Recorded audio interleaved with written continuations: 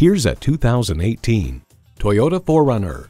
Roam the vast unknown in this 4Runner, a rugged SUV with plenty of room for passengers and backpacks, plus all sorts of creature comforts. And with features like these, every drive is a pleasure.